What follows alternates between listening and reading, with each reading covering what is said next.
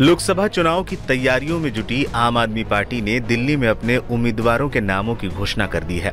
आम आदमी पार्टी इस बार इंडिया गठबंधन का हिस्सा है और वो राष्ट्रीय राजधानी में कांग्रेस के साथ गठबंधन में चुनाव लड़ने जा रही है। इसके मद्देनजर दोनों पार्टियों में सीट शेयरिंग पहले ही हो चुकी है, जिसके मद्देनजर आम आदमी पार्टी चार और कांग्रेस तीन सीटों पर चुनाव लड़ने जा रही है।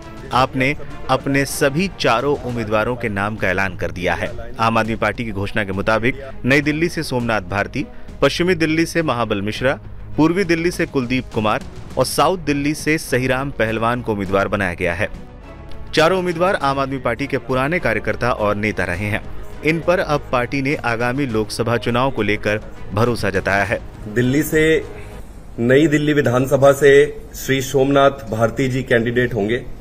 साउथ दिल्ली लोकसभा से श्री सही राम जी कैंडिडेट होंगे।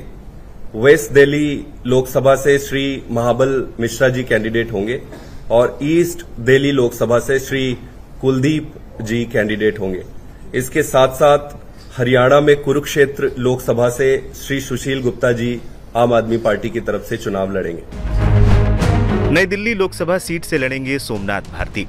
हमेशा सुर्खियों में रहने वाले सोमनाथ भारती पेशे से वकील रहे हैं और मालवीय नगर विधानसभा सीट से लगातार तीन बार विधायक चुने गए हैं। सोमनाथ भारती केजरीवाल सरकार में कैबिनेट मंत्री भी रह चुके हैं और दिल्ली जल बोर्ड के उपाध्यक्ष हैं।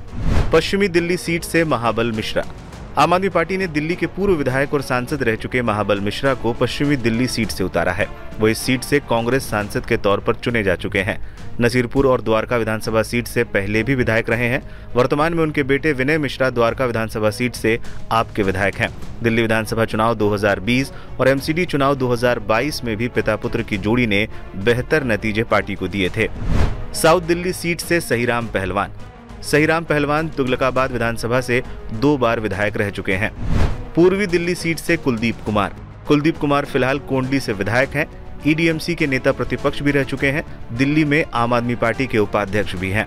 हरियाणा के कुरुक्षेत्र सीट से सुशील गुप्ता। सुशील गुप्ता को हरियाणा के कुरुक्षेत्र सीट से आम आदमी पार्टी ने टिकट दिया है।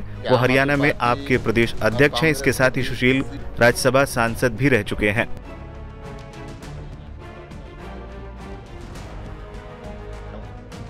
जैसा कि मीडिया में खबर आने लगी है कि आम आदमी पार्टी और कांग्रेस के बीच सीट शेयरिंग का अंतिम चरण के अंदर मामला पहुँच चुका है। ई मीडिया का गठबंधन का